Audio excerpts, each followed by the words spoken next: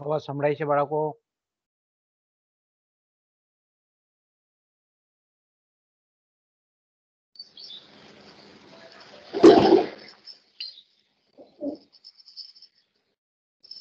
રીતિકા અવાજ સંભળાય છે બેટા? હા સર મેડમ નો પીરિયડ ચાલે છે હજુ? ના હમણાં જ પૂરો થયો. અચ્છા પૂરો થયો એમ ને? હા હા. ઓકે. જોઈન્ટ થાય એટલે ચાલુ કરીએ આપણે બરાબર ને મારા બાળકો? હા સર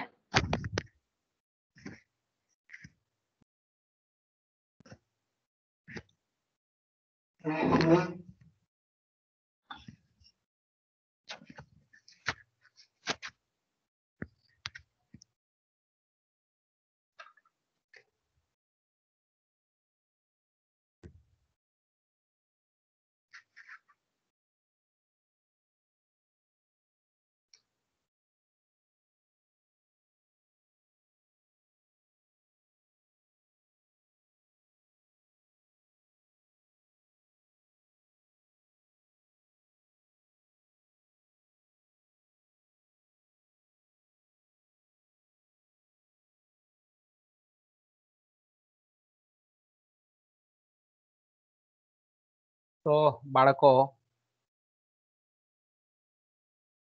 આપણે લાસ્ટ ટાઈમ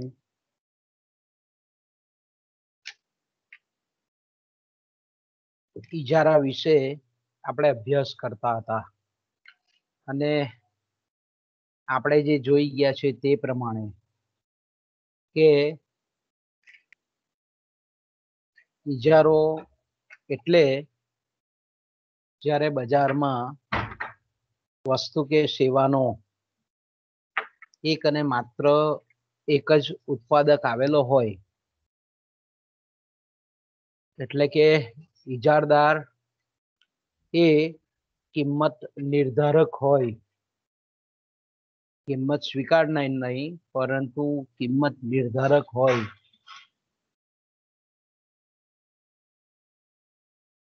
ઈજારદાર પેઢી અથવા તો વિક્રેતા અથવા વેચનાર એ ઉત્પાદન અને પુરવઠામાં ફેરફાર કરી અને કિંમતમાં પણ પરિવર્તન, ફેરફાર કરી શકે છે. ઈજારો, એટલે આપણે જાણીએ છીએ તે પ્રમાણે કે ઈજારો એટલે એવું બજાર કે જ્યાં ઉદ્યોગમાં એક જ પેઢી આવેલી હોય. એની તદ્દન નજીકની જેને આપણે અવેજી વસ્તુઓ કહીએ, એ બજારમાં ઉપલબ્ધ ન હોય. એટલે કે પેઢી એ જ ઉદ્યોગ હોય અને ઉદ્યોગ એ જ પેઢી હોય. ઈજારદાર જ્યારે આપણે એમ કહીએ કે જે વસ્તુ ઉત્પાદન કરતો હોય, એની માંગની પ્રતિમૂલ્ય સાપેક્ષતા જો શૂન્ય હોય, તો તેને આપણે શુદ્ધ ઈજારો કહીએ છીએ. અને આપણે જાણીએ છીએ તે પ્રમાણે કે ઈજારામાં ઉત્પાદક પેઢી એ માત્ર એક જ હોય છે. કોઈ હરીફ હોતો નથી. સમગ્ર બજાર પર ઈજારાનો, ઈજારદારનો નિયંત્રણ અને અધિકાર હોય છે. અન્ય પેઢીઓ ઉદ્યોગમાં પ્રવેશતી હોતી નથી. અન્ય પેઢીઓ ઉદ્યોગમાં પ્રવેશતી હોતી નથી. તો આપણે એમ કહીએ કે ઈજારામાં, ઈજારો ઉદ્ભવવા પાછળ આપણે એમ કહીએ કે ઘણા બધા કારણો જવાબદાર હોય એ આપણે ઓફલાઈન પીરિયડમાં થોડી ચર્ચા કરેલી હતી. કે એક તો બંધારણીય અધિકાર હોય, કાયદાકીય જોગવાઈ હોય, સરકારનું નિયંત્રણ હોય, અથવા તો સરકારે ચોક્કસ પ્રકારની પરવાનગી આપેલી હોય, એ જ રીતે કાચા માલના જથ્થા ઉપર નિયંત્રણ હોય અતિશય જંગી મૂડીરોકાણ કરવાની ક્ષમતા હોય. વૈજ્ઞાનિક નવપ્રવર્તન, સંશોધન કરેલું હોય, નવીન પદ્ધતિ શોધેલી હોય.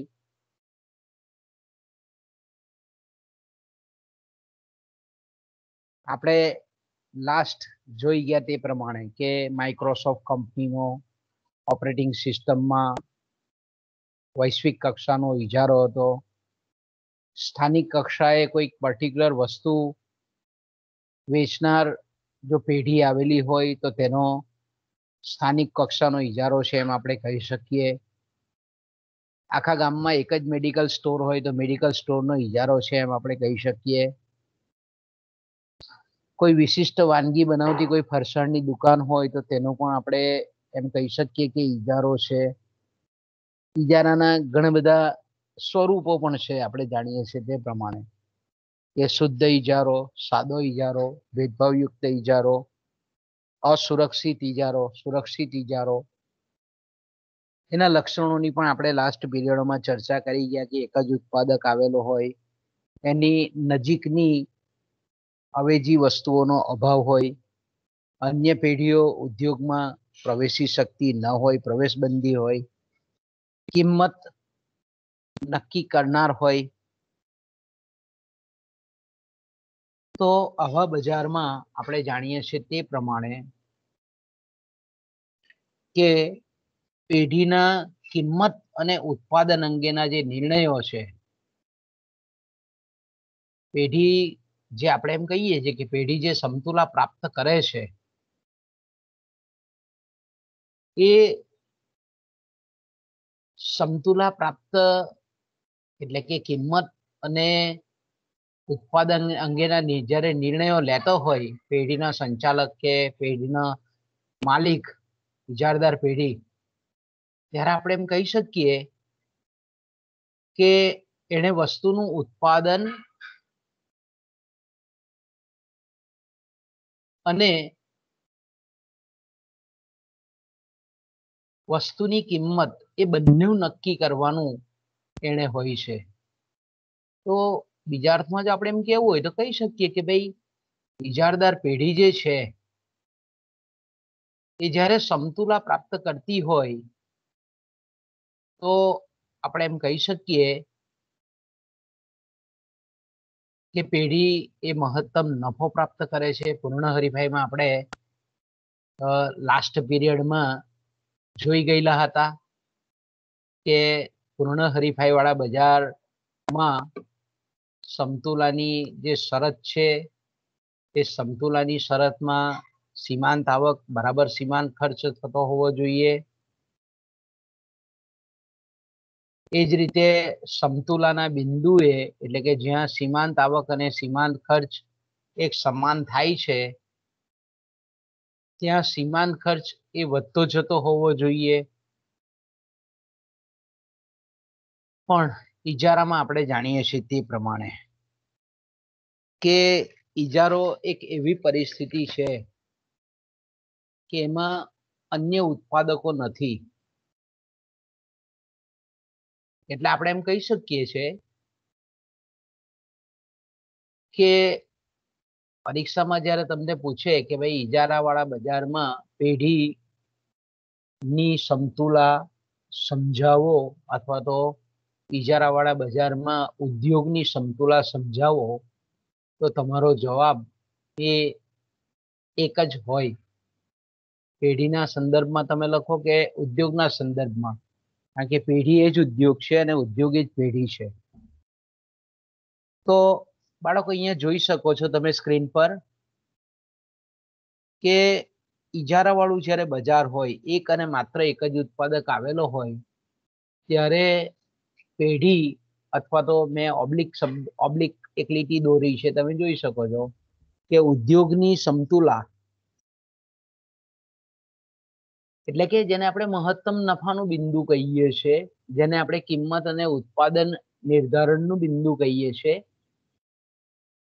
એવું સમતુલાનું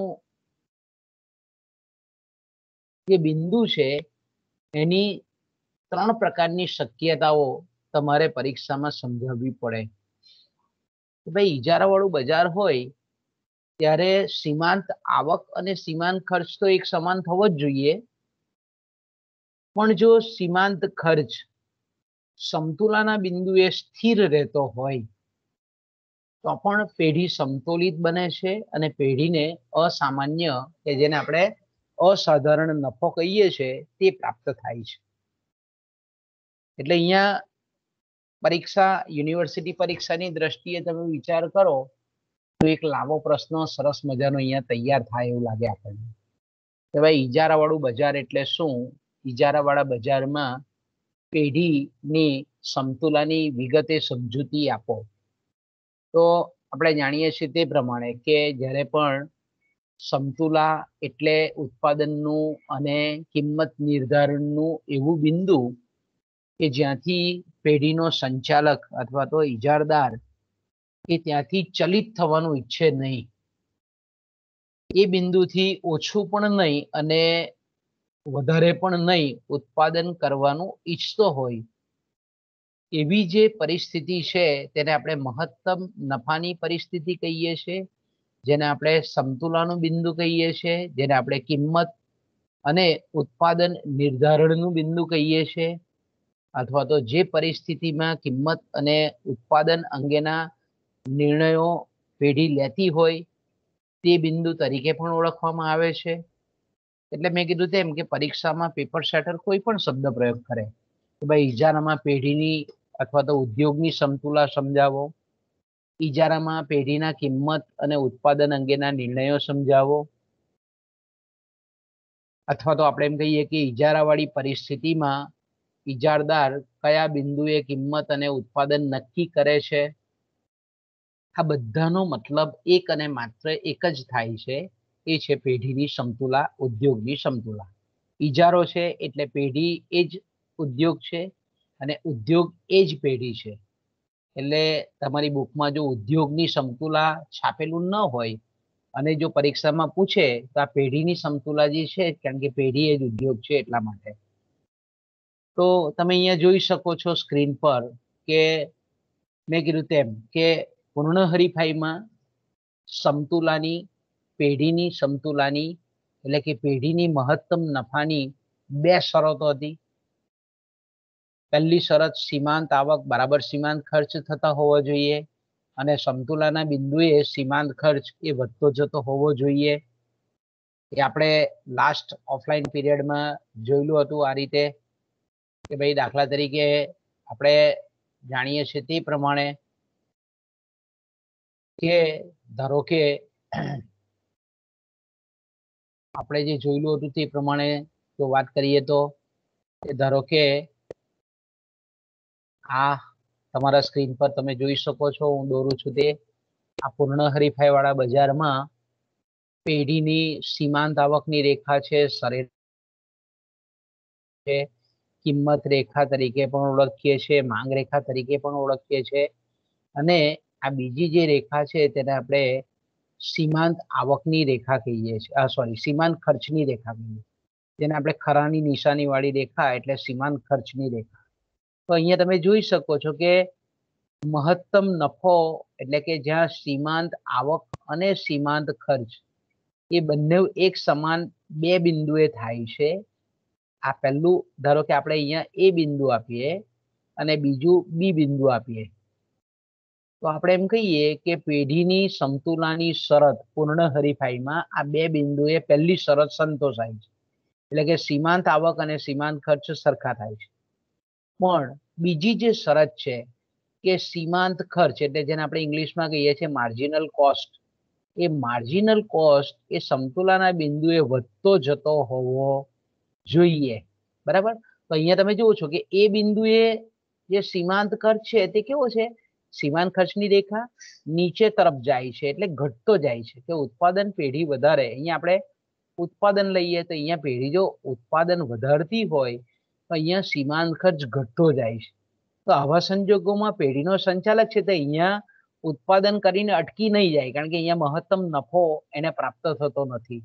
એટલે ઉત્પાદન વધારતા વધારતા વધારતા વધારતા વધારતા મેં કીધું તેમ કે આ બિંદુએ આવીને અટકી જાય. કારણ કે આ બિંદુએ, આ બિંદુ પછીની પરિસ્થિતિ કેવી છે? જો આ બિંદુ આપણે ધારો કે ક્યુ વન બિંદુ કહીએ, તો આ બિંદુ પછી જો એ વધારે ઉત્પાદન કરવા જાય, તો આ એની વધારાના એકમના ઉત્પાદન કરવાથી પ્રાપ્ત થતી સીમાંત આવક રેખા દર્શાવે છે. અને આ સીમાંત ખર્ચ બતાવે છે ઉપરની રેખા. અહીંયા તમે જુઓ કે એક એકમનું ઉત્પાદન કરવાથી ધારો કે એને આવક આટલી પ્રાપ્ત થાય સીમાંત આવક, પણ એને ખર્ચ ધારો કે આટલો થતો હોય, તો તેવા સંજોગોમાં એકમ દીઠ ખોટ એ આટલી જતી હોય. એક એકમનું ઉત્પાદન કરે, વધારાના એક એકમનું તો આટલી ખોટ જતી હોય. તો આપણે એમ કહીએ કે આ બિંદુએ વધારાના એક એકમના ઉત્પાદન કરવાથી થતો જે સીમાંત ખર્ચ છે તે અને વધારાના એક એકમનું ઉત્પાદન કરી અને એનું વેચાણ કરવાથી પ્રાપ્ત થતી સીમાંત આવક છે, તે અહીંયા એક સમાન થાય છે. એટલે આ એકદમ ઇષ્ટતમ ઉત્પાદનનું બિંદુ છે કે જ્યાં એને મહત્તમ નફો પ્રાપ્ત થાય છે. આપણે એમ કહીએ કે પૂર્ણ હરીફાઈમાં સમતુલાની બીજી શરત કઈ હતી? તો કે ભાઈ સમતુલાના બિંદુએ સીમાંત ખર્ચ એ વધતો જતો હોવો જોઈએ. તો ઈજારામાં એના કરતા ઉલટું છે. ઈજારામાં શું છે? કે સીમાંત ખર્ચ સમતુલાના બિંદુએ વધતો જતો હોય, ઘટતો જતો હોય, ક્યાં સ્થિર હોય, આ ત્રણે ત્રણ પરિસ્થિતિમાં આપણે એમ કહીએ કે પેઢી સમતુલા પ્રાપ્ત કરે છે અને પેઢીને અસામાન્ય નફો મળે છે. ઓકે? આપણે પાછા આપણા મેઇન એના પર આવી જઈએ કે ધારો કે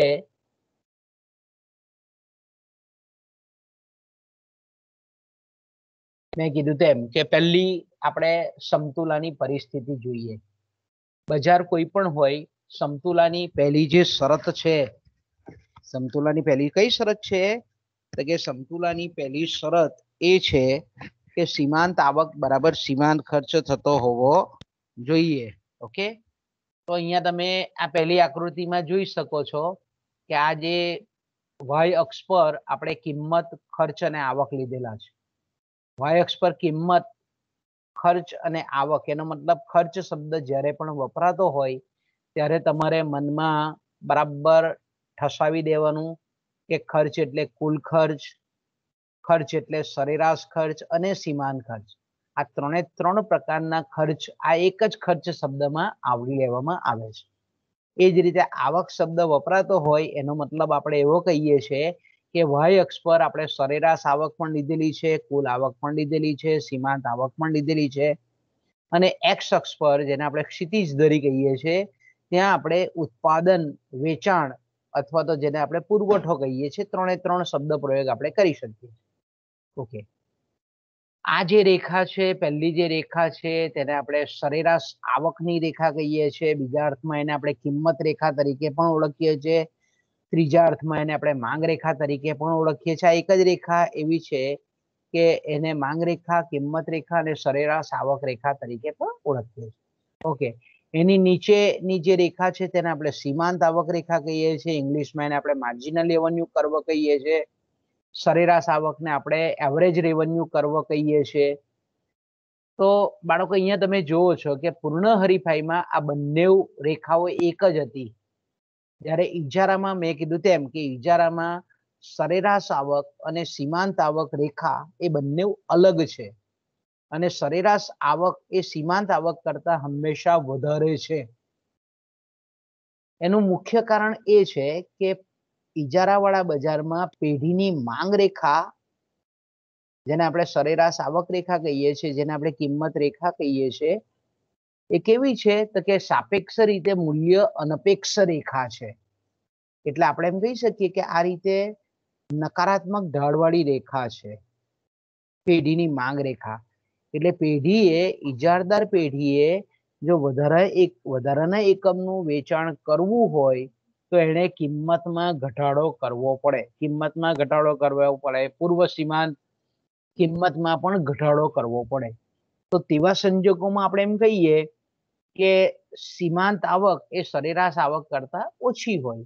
અને આપણે આગળ જોયેલું હતું કે ભાઈ, ધારો કે ખાસ કરીને આપણે એમ કહીએ કે કોઈક ઉત્પાદક છે, એ દસ ઇજારદાર પેઢી છે, તે દસ એકમનું ઉત્પાદન કરે છે, એની કિંમત બે રૂપિયા હોય તો કુલ આવક વીસ રૂપિયા થાય. ઓકે? તો આપણે અહીંયા ઉત્પાદન ક્યુ બતાવીએ, ક્વોન્ટિટી બતાવીએ પ્રાઇસને આપણે બે રૂપિયા બતાવીએ અહીંયા ટોટલ રેવન્યુ કુલ આવકને આપણે વીસ રૂપિયા બતાવીએ. તો અહીંયા તમે જોઈ શકો છો કે અગિયારમાં એકમનું ઉત્પાદન કરે તો પૂર્ણ હરીફાઈવાળા બજારમાં આ કિંમત બદલાતી નથી. પણ ઇજારાવાળા બજારમાં પેઢીએ વધારાના એકમનું ઉત્પાદન કરીને વેચાણ કરવું હોય તો એને આપણે કિંમત ઘટાડવી પડે છે. એટલે આપણે એમ કહી શકીએ કે બે રૂપિયે એ પોતાના એકમને, વધારાના એકમને વેચી શકતો નથી. એણે વધારાના એકમનું વેચાણ કરવું હોય તો બે રૂપિયાની જગ્યાએ એણે એક રૂપિયો ને નેવું પૈસા એણે કિંમત કરવી પડે, વસ્તુની કિંમત, એકમ દીઠ કિંમત ઘટાડવી પડે વધારાના એકમનું. તો અહીંયા તમે સ્વાભાવિક છે કે જુઓ, તો કે ભાઈ અહીંયા આપણે કુલ આવક જે છે એ કુલ આવક હવે અગિયાર ગુણ્યા વન પોઈન્ટ નાઇન્ટી કરો એટલે આપણને ખબર પડી જાય કે ભાઈ અગિયાર ગુણ્યા વન પોઈન્ટ નાઇન આપણે ડાયરેક્ટ લખી દઈએ જવાબ જોઈને ચોપડીમાં. તો ધારો કે આપણે એમ કહીએ કે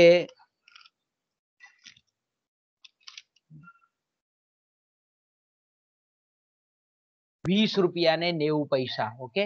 અહીંયા કેટલા આવે છે? વીસ રૂપિયા ને નેવું પૈસા કુલ આવક. કુલ આવક આપણે કેવી રીતે મેળવીએ છીએ? તો કે ભાઈ આ બે નો ગુણાકાર અગિયાર ગુણ્યા એક પોઈન્ટ નેવું એટલે વીસ રૂપિયા ને નેવું પૈસા. તો અહીંયા તમે જુઓ છો કે હવે આ જે કિંમત છે, કિંમતને જ આપણે શું કહીએ છીએ? સરેરાશ આવક કહીએ છીએ. કિંમતને આપણે બીજું શું કહીએ છીએ? સરેરાશ આવક. કિંમત એ જ સરેરાશ આવક છે અને સરેરાશ આવક એ જ કિંમત છે. બરાબર? બંને એક જ છે. તમે પ્રાઇસ લખો કે એકમ દીઠ કિંમત લખા બંને વસ્તુ સમાન છે. તો અહીંયા તમે જોઈ શકો છો કે સરેરાશ આવક બે રૂપિયા છે. અહીંયા તમે જોઈ શકો છો કે સરેરાશ આવક બે રૂપિયા છે. પછી વધારાના એક એકમનું એને વેચાણ કરવું છે, કિંમત હવે ઘટાડવી પડે છે એક રૂપિયા નેવું પૈસા. એટલે સરેરાશ આવક હવે કેટલી થઈ? તો કે ભાઈ એક રૂપિયા ને નેવું પૈસા. કિંમત એ સરેરાશ આવક. હવે સીમાંત આવક તમે જોઈ શકો છો કે વધારાના એક એકમનું વેચાણ કરવાથી કુલ આવકમાં થતો ફેરફાર. તો કે કુલ આવકમાં પહેલા વીસ રૂપિયા હતા દસ એકમનું વેચાણ કરવાથી હવે અગિયારમાં એકમનું વેચાણ કરે છે, તો હવે વીસ રૂપિયા ને નેવું પૈસા કુલ આવક થાય છે. તો અહીંયા તમે જોઈ શકો છો કે આવકમાં, કુલ આવકમાં થતો ફેરફાર કેટલો છે? તો કે zero point ninety. Okay, zero point ninety આ તમારી આવી શું આવી? તો કે સીમાંત આવક આવી. એને આપણે ઇંગ્લિશમાં શું કહીએ છીએ? Marginal revenue. એને આપણે કહીએ છીએ માર્જિનલ રેવન્યુ. સીમાંત આવક. ઓકે અહીંયા તમે જોઈ શકો છો કે સરેરાશ આવક એક રૂપિયા ને પૈસા છે, જ્યારે સીમાંત આવક એક માત્ર નેવું પૈસા છે. એટલે અહીંયા તમે જોઈ શકો છો કે સરેરાશ આવક એ હંમેશા ઊંચી હોય અને આ જે છે તેને આપણે સીમાંત આવકની રેખા ઈજારામાં કહીએ છીએ. ઓકે? તો અહીંયા આપણે આગળ પણ આ બાબતની ચર્ચા કરેલી છે કે સરેરાશ આવક એ સીમાંત આવક કરતા હંમેશા વધારે હોય. સરેરાશ આવક આપણા ઉદાહરણમાં જોયું તો એક રૂપિયાની નેવું પૈસા અને સીમાંત આવક માત્ર નેવું પૈસા છે. એટલે આ બે વચ્ચે આ રીતનો ગાળો પણ હોવો જોઈએ, ગેપ પણ હોવો જોઈએ અને સરેરાશ આવક રેખા જ્યારે પણ આપણે દોરીએ ત્યારે હંમેશા ઊંચી હોવી જોઈએ. ઓકે, આ બેઝિકલી નિયમ છે. એ જ રીતે આપણે હજુ પણ આગળ કરવું હોય તો કરી શકાય કે વધારાના બારમા એકમનું પેઢી ઉત્પાદન કરે છે ઇજારદાર પેઢી હવે વધારાના એકમનું ઉત્પાદન કરવું હોય તો હજુ પણ એને કિંમત ઘટાડવી પડે, એક રૂપિયા ને એસી પૈસા કરવી પડે. તો આપણે જોઈ શકીએ છીએ કે હવે કુલ આવક વધીને એકવીસ પોઈન્ટ સાહીઠ થાય. તો અહીંયા તમે જોઈ શકો છો કે સીમાંત આવક એ ઝીરો પોઈન્ટ સિત્તેર જેવી થાય. કારણ કે આ બેનો ગુણાકાર તમે કરો, તો તમે જોઈ શકો છો કે એકવીસ રૂપિયાને સાહીઠ પૈસા બેનો ગુણાકાર કરીએ તો આવા સંજોગોમાં આપણે એમ કહીએ કે સીમાંત આવક સિત્તેર પૈસા થાય માત્ર. જ્યારે સરેરાશ આવક કે જેને આપણે કિંમત કહીએ છીએ, તે એક રૂપિયો ને એસી પૈસા થાય. ઓકે? આગળ જઈએ આપણે. ઓકે, તો અહીંયા તમે આપણે જોઈએ કે કે કેમ આ બંનેને અલગ બતાવવામાં આવે છે? કેમ આ બંને રેખા અલગ છે? એનું કારણ આપણે તપાઈશું. કારણ કે પૂર્ણ હરીફાઈમાં વધારાના એકમનું વેચાણ કરવું હોય તો પેઢીએ કોઈ કિંમતમાં ઘટાડો કરવો પડતો નથી. પણ જ્યારે ઈજારો હોય, ત્યારે એને વધારાના એકમનું વેચાણ કરવું હોય, તો કિંમતમાં ઘટાડો કરવો પડે છે એટલે આપણે કહીએ છીએ કે આ બંને અલગ રેખા પર છે અને સરેરાશ આવક કરતાં સીમાંત આવક હંમેશા ઓછી છે. એટલે જ્યારે પણ આપણે પરીક્ષામાં દોરીએ, ત્યારે પરીક્ષામાં કન્ફ્યુઝન નહીં થાય એટલા માટે સરેરાશ આવકની રેખા ઉપર દોરવાની અને નીચે આવે સીમાંત આવક રેખા. ઓકે આગળ જઈએ. હવે આપણી પહેલી જે શક્યતા છે તે ઇજારાની પરિસ્થિતિમાં સમતુલાની જે શક્યતાઓ છે, એમાંની પહેલી શક્યતાઓ આપણે તપાસીએ છીએ કે સીમાંત ખર્ચ જ્યારે સ્થિર હોય, સીમાંત ખર્ચ કેવો હોય જ્યારે સ્થિર હોય, ત્યારે પણ પેઢી સમતુલા પ્રાપ્ત કરે છે અને પેઢીને અસામાન્ય નફો જેને આપણે અસાધારણ નફો, જેને આપણે સુપર નોર્મલ પ્રોફિટ ઇંગ્લિશમાં એને આપણે કહીએ છીએ સુપર નોર્મલ પ્રોફિટ પ્રાપ્ત થાય છે. ઓકે તો અહીંયા તમે જોઈ શકો છો કે સમતુલાની પહેલી શરત, પેઢી અથવા તો ઉદ્યોગ, આપણે અહીંયા ઉદ્યોગ પણ છે કારણ કે પેઢી અથવા તો ઉદ્યોગ બંને એક જ શબ્દ છે. અહીંયા ખાલી આ ઈજારા પૂરતી વાત કરીએ તો આપણે. તો સમતુલાની પહેલી શરત કે જેને આપણે મહત્તમ નફાનું બિંદુ કહીએ મહત્તમ નફાનું બિંદુ કયું છે? તો કે ભાઈ સીમાંત આવક, બરાબર સીમાંત ખર્ચ થવો જોઈએ. તો અહીંયા આપણે કહીએ કે આ જે આડી રેખા દોરેલી છે, તે આપણને સીમાંત ખર્ચ દર્શાવતી રેખા છે. સામાન્ય રીતે આપણે બધા બજારોમાં જોઈએ છે, તો આપણને સીમાંત ખર્ચની રેખા કેવી જોવા મળે છે? તો કે ભાઈ આ ખરાની નિશાની વાળી રેખા આપણને જોવા મળે. સીમાંત ખર્ચની રેખા કેવી હોય? આપણે જે ખરાની નિશાની કરીએ છીએ તેવી રેખા છે. સીમાંત ખર્ચની રેખા. પરીક્ષામાં તમને કોઈ પણ પૂછે કે ભાઈ સીમાંત ખર્ચની રેખા દોરો, તો વિચાર્યા વગર આપણે આવું ખરાની ટીક માર કરીએ ને ખરું ખોટું ખરાની જે રેખા છે તેને આપણે સીમાંત ખર્ચની રેખા કહીએ છીએ. મોટે ભાગે. પણ અહીંયા ઈજારામાં આપણે શું કરીએ છીએ કે સીમાંત ખર્ચ સ્થિર હોય. સ્થિર સીમાંત ખર્ચ હોવા છતાં પેઢી સમતુલા પ્રાપ્ત કરે છે અને પેઢીને અસામાન્ય નફો પ્રાપ્ત થાય છે. એટલે તો અહીંયા આપણે જોઈ શકીએ છીએ કે ભાઈ આ જે રેખા છે, તેને આપણે કહીએ છીએ સીમાંત ખર્ચની રેખા. ઓકે? હવે અહીંયા આપણે તમે જુઓ છો કે આ પરીક્ષા આપણે ચોપડીમાં તમારે પ્રિન્ટિંગ મિસ્ટેક છે. સીમાંત ખર્ચ બરાબર સીમાંત ખર્ચ લખેલું છે. પણ એકચ્યુઅલી સીમાંત ખર્ચ બરાબર સરેરાશ ખર્ચ આવે. એનું કારણ હું મેઇન હવે આપણે એમ કહીએ કે કેમ આવે? એવું કેમ આવે? તો કે ભાઈ એનું મેઇન કારણ આપણે જોઈએ તો ધારો કે આપણે એમ કહીએ કે ઉદાહરણ લઈએ આપણે?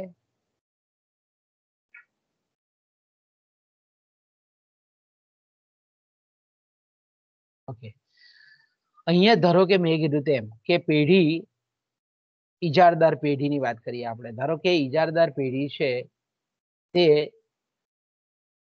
ધારો કે સો એકમનું ઉત્પાદન કરે છે. ઓકે સો એકમનું પેઢી ઉત્પાદન કરે છે, હંડ્રેડ એકમનું ઉત્પાદન કરે છે. ઓકે? અહીંયા આપણે સો આ રીતે આપણે એને વ્યવસ્થિત લખવો હોય તો પણ લખી શકીએ. ધારો કે અહીંયા ધારો કે આપણે સો આ રીતે પણ બતાવી શકીએ ને ઓકે? સો એકમનું ઉત્પાદન કરે છે કુલ ખર્ચ, મેં કીધું તેમ. કે કુલ ખર્ચ ધારો કે એનો બસો રૂપિયા થાય છે. ઓકે? ખર્ચ કેટલો થાય છે? બસો રૂપિયા. અહીંયા આપણે ધારો કે લખી શકીએ કે ભાઈ અહીંયા ઉત્પાદન, અહીંયા કુલ ખર્ચ, ઓકે? તો અહીંયા તમે જોઈ શકો છો કે સો એકમનું ઉત્પાદન કરવાથી કુલ ખર્ચ બસો થાય છે.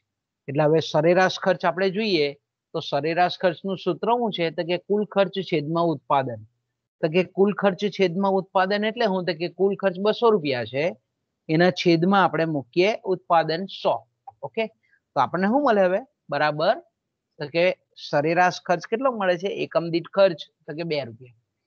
પેઢી જ્યારે એક એકમનું ઉત્પાદન કરે છે, તો આપણે એમ કહીએ કે એને એવરેજ કોસ્ટ એનો સરેરાશ ખર્ચ એ રૂપિયા બે છે. ઓકે? હવે આપણે પેઢી દાખલા તરીકે આપણે એમ કહીએ કે એકસો એકમાં એકમનું ઉત્પાદન કરે છે. ઓકે? વધારાના એક એકમનું ઉત્પાદન કરે છે. વધારાના એક એકમનું ઉત્પાદન કરે છે તો આપણે એમ કહીએ કે કુલ ખર્ચ એનો બસો ને બે રૂપિયા થાય છે. ઓકે? કુલ ખર્ચ કેટલો થાય છે? બસો ને બે રૂપિયા. ઓકે? અહીંયા તમે જોઈ શકો છો કે બસો બે ભાગ્યા ભાગ્યા આપણે એમ કહીએ કે બસો બે ભાગ્યા એકસો ને એક એટલે આપણને મળે એકમ દીઠ ખર્ચ, જેને આપણે એવરેજ કોસ્ટ કહીએ, જેને આપણે સરેરાશ ખર્ચ કહીએ, તો કે ભાઈ અહીંયા સરેરાશ ખર્ચ કેટલો આવે? તો કે ભાઈ બે રૂપિયા. ઓકે હવે સીમાંત ખર્ચની આપણે વ્યાખ્યા આપણને ધ્યાનમાં છે કે સીમાંત ખર્ચ એટલે વધારાના એક એકમનું ઉત્પાદન કરવાથી કુલ ખર્ચમાં થતો ફેરફાર. તો કે અહીંયા ધારો કે આપણે એમ કહીએ, આને એક્સપ્લેન કરીએ આપણે, ધારો કે સો એકમનું ઉત્પાદન કરે છે, કુલ ખર્ચ બસો રૂપિયા થાય. એકસો એક એકમનું ઉત્પાદન કરે છે. હવે આપણે એમ કહીએ કે કુલ ખર્ચ વધીને બસો બે રૂપિયા થાય તો વધારાના એક એકમનું ઉત્પાદન કરવાથી હવે આપણે એમ કહીએ કે કુલ ખર્ચ કેટલો થાય છે? તો કે કુલ ખર્ચમાં થતો ફેરફાર કેટલો છે? તો કે બે રૂપિયા છે. તો વધારાના એક એકમના ઉત્પાદન કરવાથી કુલ ખર્ચમાં જે થતો ફેરફાર છે તેને આપણે માર્જિનલ કોસ્ટ કહીએ છીએ એને આપણે સીમાંત ખર્ચ કહીએ છીએ તો કે બે રૂપિયા એ કેવો છે એનો? સીમાંત ખર્ચ છે. આ જે છે તે શું છે સરેરાશ ખર્ચ છે. સરેરાશ ખર્ચ એટલે કુલ ખર્ચ છેદમાં કુલ ઉત્પાદન. તો આપણે એમ કહીએ કે ધારો કે હવે આપણે ત્રીજું એક ઉદાહરણ લઈએ. ધારો કે એકસો ને બેમો એકમનું ઉત્પાદન કરે છે પેઢી. ઓકે? કુલ ખર્ચ વધીને ધારો કે આપણે એમ કહીએ કે બસો ને ચાર રૂપિયા થાય છે. ઓકે? બસો ને ચાર રૂપિયા થાય. એકસો બે માં એકમનું ઉત્પાદન કરે છે, કુલ ખર્ચ વધીને બસો ચાર થાય છે. ઓકે. તો હવે અહીંયા આપણે સરેરાશ ખર્ચ આપણને જાણીએ છીએ કે સરેરાશ ખર્ચ એટલે શું? તો કે સરેરાશ ખર્ચ એટલે કુલ ખર્ચ ભાગ્યા ઉત્પાદન, તો કે એકસો બે. તો કે હવે આપણે એમ કહીએ કે સરેરાશ ખર્ચ કેટલો આવ્યો? તો કે બે રૂપિયા આવ્યો. ઓકે. હવે સીમાંત ખર્ચ આપણે જોઈએ. તો કે સીમાંત ખર્ચ એટલે વધારાના એક એકમના ઉત્પાદન કરવાથી. પહેલા એકસો એક નું એકમનું ઉત્પાદન થતું હતું, હવે વધારાના એક એકમનું ઉત્પાદન કર્યું, એકસો ને બે કર્યું. તો કે સીમાંત ખર્ચ વધીને બે રૂપિયા થાય છે. કુલ ખર્ચમાં થતો ફેરફાર, એને આપણે સીમાંત ખર્ચ કહીએ, તો કે ભાઈ એકસો એક નું ઉત્પાદન કરતા હતા, ત્યારે કુલ ખર્ચ એક બસો બે થતો હતો. એકસો બે માં એકમનું ઉત્પાદન કરે છે, કુલ ખર્ચ થાય છે બસો ચાર. તો તમે અહીંયા જોઈ શકો છો કે સીમાંત ખર્ચ પણ બે રૂપિયા છે અને સરેરાશ ખર્ચ પણ બે રૂપિયા છે. આવું ક્યારે શક્ય બને? તો કે જ્યારે સીમાંત ખર્ચ આ રીતનો સ્થિર હોય, સીમાંત ખર્ચ જ્યારે સ્થિર હોય, એટલે કે વધારાના એક એકમનું ઉત્પાદન કરવાથી સ્થિર ખર્ચ, આ સીમાંત ખર્ચમાં કોઈ ફેરફાર થતો નહીં હોય, તો તેવા સંજોગોમાં આપણે એમ કહીએ કે સીમાંત ખર્ચ બરાબર સરેરાશ ખર્ચ થાય છે. અને સરેરાશ ખર્ચ બરાબર સીમાંત ખર્ચ થાય છે. એટલે કે સીમાંત ખર્ચ અને સરેરાશ ખર્ચ એ એક જ રેખા પર આવેલા હોય છે. ઓકે તો અહીંયા તમે જોઈ શકો છો આ આકૃતિમાં કે આ આપણી રેખા છે સીમાંત આવકની રેખા, આ છે સીમાંત ખર્ચની રેખા, આ બીબી રેખા છે સીમાંત ખર્ચની રેખા છે, આ સીમાંત આવકની રેખા આવી રીતે ડોટ ડોટ ડોટ વાળી બતાવેલી છે. તો અહીંયા આપણે જોઈ શકીએ છીએ કે સીમાંત ખર્ચ અને સીમાંત આવક એ આ મેં સર્કલ બતાવેલું છે તે બિંદુ. અહીંયા આપણે એસ બિંદુ દર્શાવીએ છીએ હવે આ ચોપડીની જ ઇમેજ છે એટલે થોડી દૂર બતાવેલી છે પણ આ એસ બિંદુ અહીંયા આ જંકશન પણ આપણે બતાવવું પડે કારણ કે ઇમેજ છે એટલે આપણે અહીંયા ચેન્જ કરી શકતા નથી. પણ આપણે એવું સમજી લેવાનું કે આ જ્યાં સીમાંત આવકની રેખા અને સીમાંત ખર્ચની રેખા એકબીજાને છેદે છે આ છેદન બિંદુ આ સમતુલાનું બિંદુ છે. સમતુલાના બિંદુએ ઉત્પાદન એ ઓએમ જેટલું થાય છે, સમતુલાનું ઉત્પાદન. આ ઓએમ એવું ઉત્પાદન છે કે જ્યાં મહત્તમ નફો પેઢીને પ્રાપ્ત થાય છે. મહત્તમ નફાની પહેલી શરત કઈ છે? તો કે જે બિંદુએ સીમાંત આવક અને સીમાંત ખર્ચ એક બીજા એક બંને સમાન થાય. તો અહીંયા બંને રેખાઓ એકબીજાને છેદે છે એનો મતલબ આપણે એવો કરી શકીએ કે સીમાંત આવક અને સીમાંત ખર્ચ. જ્યાં બે રેખાઓ એકબીજાને છેદતી હોય કે સ્પર્શતી હોય, ત્યાં આપણે એમ કહી શકીએ કે બંને પરિબળો એક સમાન છે એમ આપણે કહી શકીએ. તો અહીંયા સીમાંત આવકની રેખા અને આ સીમાંત ખર્ચની રેખા એકબીજાને છેદે છે. આ છેદન બિંદુ, એસ બિંદુ કે જ્યાં સીમાંત આવક અને સીમાંત ખર્ચ એક સમાન થાય છે, એટલે મહત્તમ નફાનું બિંદુ છે. આ મહત્તમ નફાના બિંદુએ ઓએમ જેટલું સમતુલાનું ઉત્પાદન થાય છે. અહીંયા તમે ઓએમમાં કોઈ પણ એમની જગ્યાએ કોઈ પણ આંકડો લખી શકો. જેવી જેવી પેઢી. કે દાખલા તરીકે નાના કદની પેઢી હોય તો દસ એકમનું ઉત્પાદન પણ હોય. ઘણી વખત આપણે એમ કહીએ કે બહુ મોટી જાયન્ટ કંપની હોય તો લાખોમાં એકા એનું સમતુલાનું ઉત્પાદન હોય. બીજું આપણે વસ્તુ કયા પ્રકારની છે એ પ્રમાણે પણ આપણે ઉત્પાદનના સમતુલાના એકમના ઉદાહરણો લઈ શકીએ. તો કે ઓએમ એ હજાર પણ હોઈ શકે, દસ પણ હોઈ શકે, પાંચ એકમ પણ હોઈ શકે, અઢી લાખ એકમ પણ હોઈ શકે, પચીસ લાખ એકમ પણ હોઈ શકે. ઓકે. ઓકે. તો હવે અહીંયા તમે જોઈ શકો છો કે આ એસ બિંદુએ સીમાંત આવક અને સીમાંત ખર્ચ સમાન થાય છે.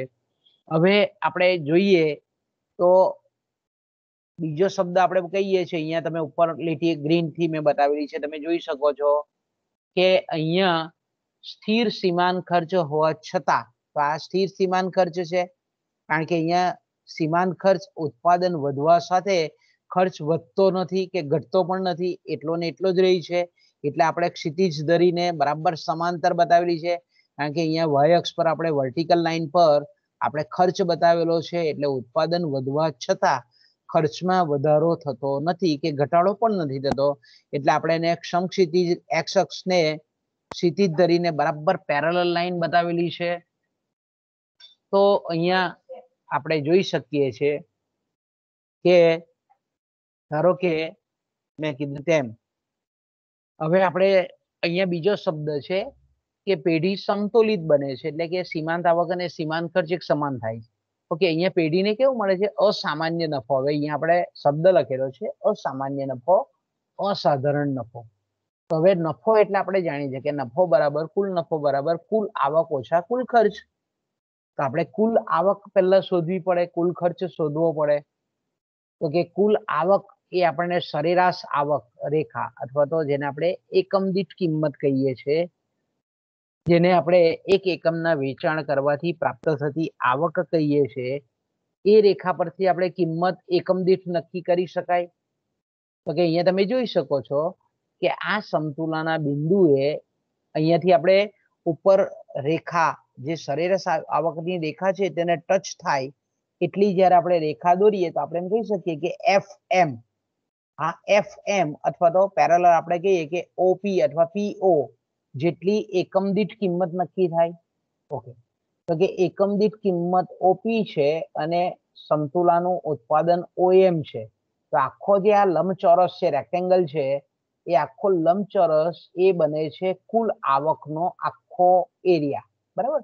તો કે ઓ પી એફ એમ એ આપણી કુલ આવક બને છે ઇજારદાર પેઢીની. ઓકે હવે કુલ ખર્ચ શોધીએ આપણે.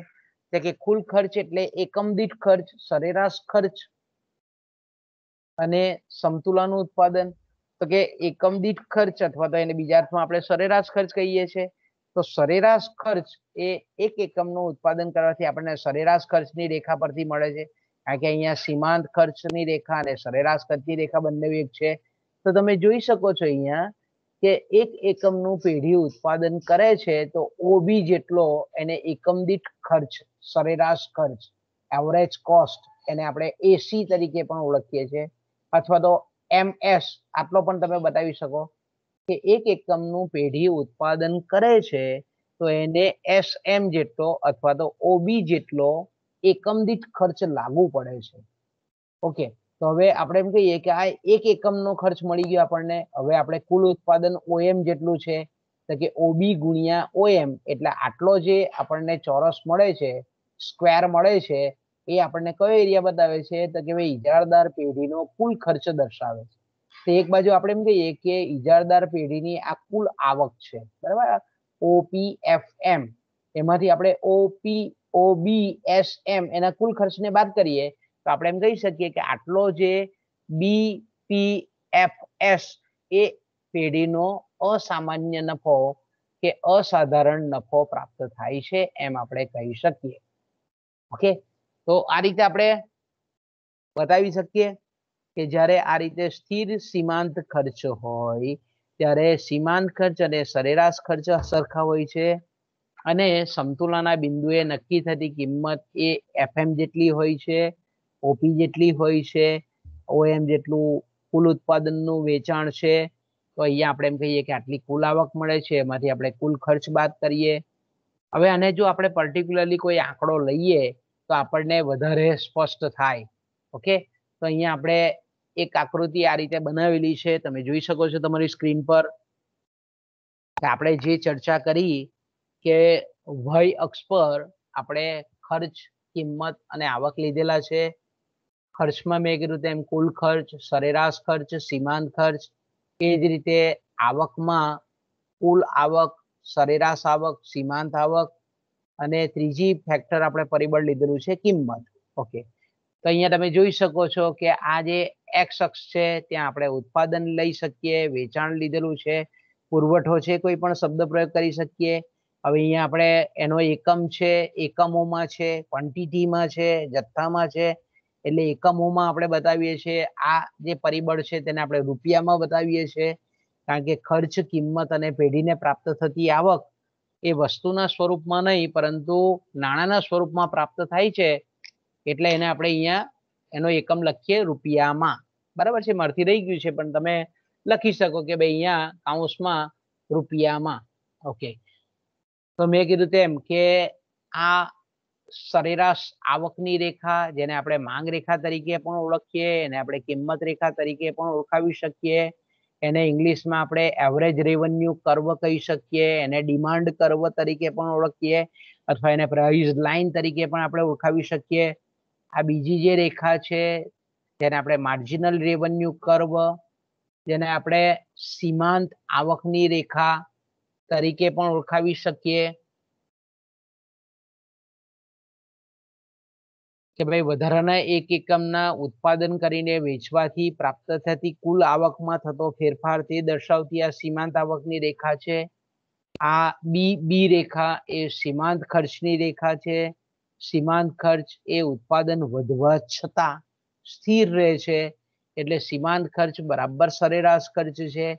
તો મેં કીધું તેમ કે એ બિંદુએ એ સમતુલાનું બિંદુ છે.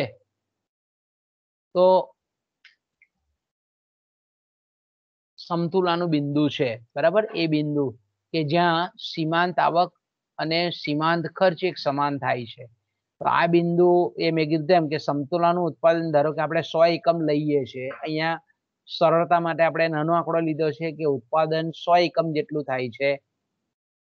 અહીંયા તમે જોઈ શકો છો કે આ સમતુલાના ઉત્પાદને ધારો કે આપણે કહીએ કે આપણે કિંમત શોધવી છે, એકમ દીઠ કિંમત, કારણ કે આપણે નફો શોધવો છે કે કુલ નફો બરાબર કુલ આવક ઓછા કુલ ખર્ચ.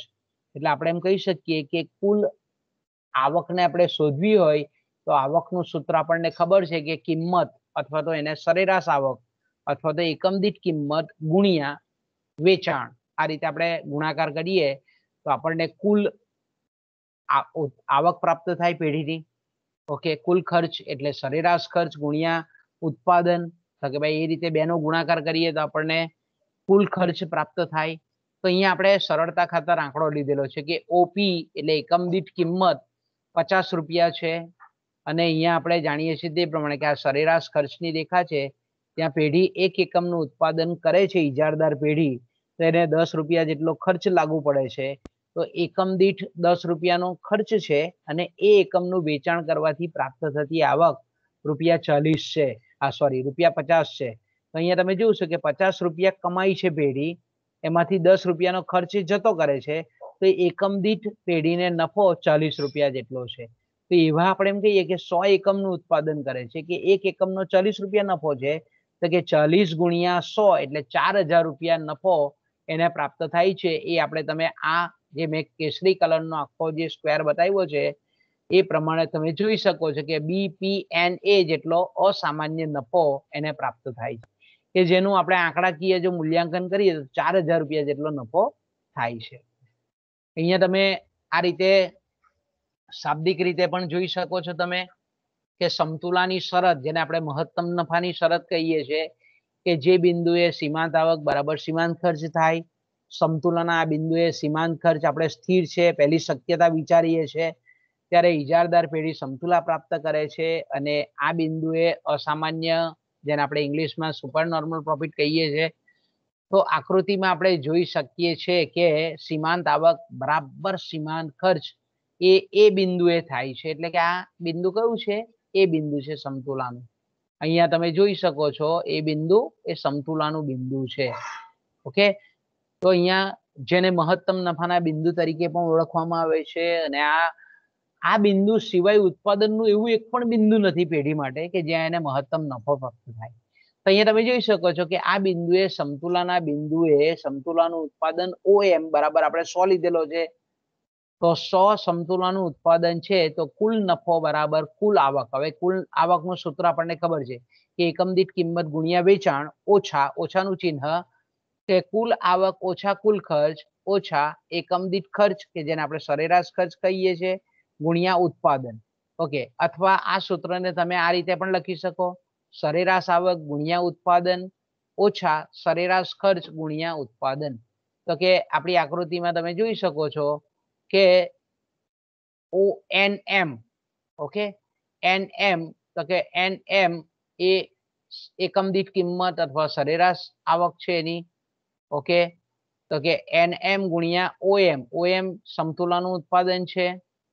ઓકે? ગુણી ઓછા ઓબી. તો કે અહીંયા તમે જોઈ શકો છો કે ઓબી એ એકમ દીઠ ખર્ચ છે, સરેરાશ ખર્ચ છે, ગુણ્યા ઓએમ. ગુણ્યા ઓએમ. બરાબર? આપણે જાણીએ છીએ તે પ્રમાણે કે એકમ દીઠ કિંમત પચાસ રૂપિયા છે. એક વેચાણ છે સો એકમનું. સમતુલાના બિંદુએ ઉત્પાદન કરીને પેઢી જે વેચે છે તે સો સો એકમનું વેચાણ કરે છે એટલે પચાસ ગુણ્યા સો એટલે પાંચ હજાર રૂપિયા. ઓછા સરેરાશ ખર્ચ એટલે કે એકમ દીઠ ખર્ચ દસ રૂપિયા છે. સરેરાશ ખર્ચ એવા સો એકમનું ઉત્પાદન કરે છે પેઢી એટલે પેઢીને લાગુ પડતો કુલ ખર્ચ એ દસ ગુણ્યા સો એટલે એક હજાર.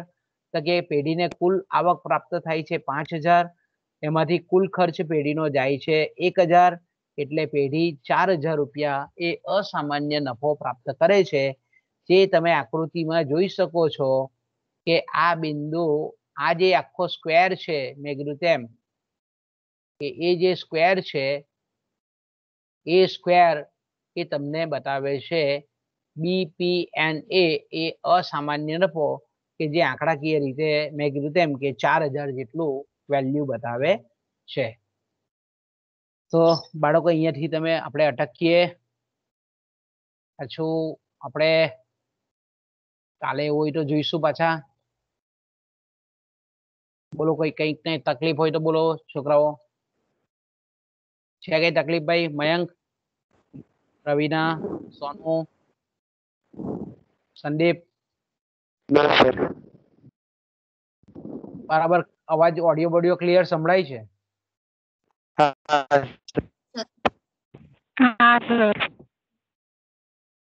કનેક્ટિવિટી બરાબર છે ને? તો કનેક્ટિવિટી હશે તો તો કમ્પ્લીટ આવશે. શ્વેતા? હા સર કમ્પ્લીટ સંભળાય છે બાજુમાં મૂક. સાંભળે છે ને કમ્પ્લીટ હા. બરાબર આ બરાબર attend કરે છે હા. ચાલો તો આપણે અહીંયાથી આજે આપણે બપોર પછીનો આજે પીરિયડ છે પણ લેવાના નહીં બરાબર આપણે? Okay sir. હા એટલે કાલથી પાછું રેગ્યુલર ચાલુ થઈ જશે. ઓકે. અને આપણે પ્રાદેશિક પણ થોડાક લઈશું બરાબર? કારણ કે આપણે ઘણા વખતથી લીધું નથી એ પણ.